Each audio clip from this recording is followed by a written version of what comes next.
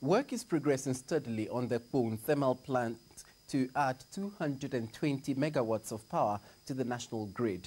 The over $200 million project is being solely funded by the Volta River Authority. GTV learned this when the team joined other media personnel to tour some VRA's energy installations at Kpone Tema, Akuse and Akosombo. Annually, the country's energy consumption increases by 10%. The power producer VRA is therefore under pressure to meet the increasing demand. That is why a number of plants that will add power to the national grid are being built.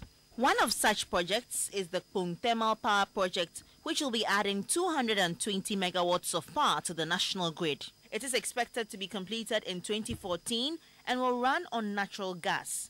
The project manager, Francis Agbenyo, explaining the nature of the project to the media, said barring any unforeseen circumstances, the project will be completed on schedule.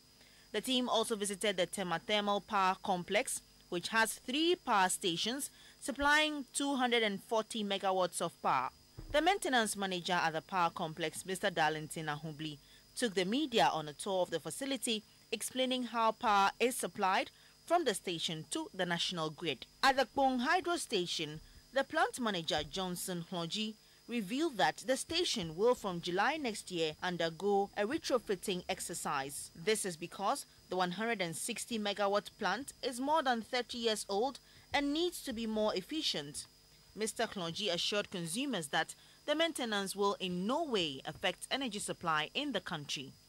Aware of the need to keep power supply uninterrupted and serve the nation's energy needs, managers at the Akosombo hydropower plant say they are always working on their systems to ensure that they run at full capacity, adding more megawatts to the national grid and the expansion and maintenance of energy installations across the country are designed to give Ghanaians efficient, stable and more reliable power while making Ghana a net exporter of power.